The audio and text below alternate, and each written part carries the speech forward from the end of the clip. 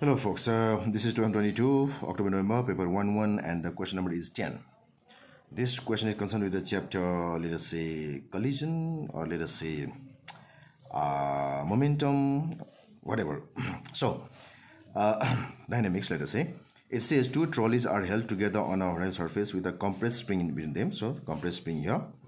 When they are released, the trolleys lose contact with the spring. Of course, it has to, it pushes the thing the trolley of mass 2 kg moves to the left at a final speed of 2 meter per second. 2 meter per second. How much elastic potential energy was stored in the spring? So what we must have is uh, the Ke of the whole system will be equal to the potential energy. Elastic potential energy. So if I find the K of the whole system after release, we can find this. For that, we need to find the velocity here. Velocity here.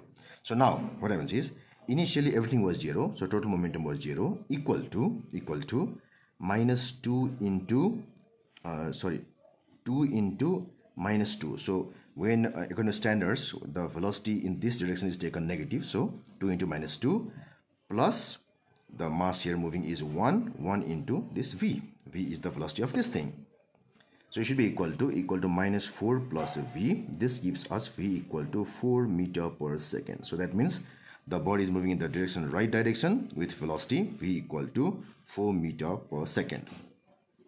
So now the total Ke of the system is Ke total should be equal to its Ke and its Ke. So its Ke is equal to 1 by 2 into mass into velocity squared. Yes, I can say minus 2 square also I can use plus it is 1 by 2 into mass is 1 kg into 4 squared.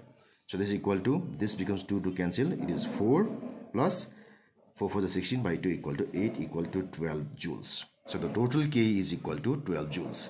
And this K has come from the initial elastic potential energy. So the elastic potential energy should also have been equal to 12 joules. This gives us D as the answer. All the others incorrect here.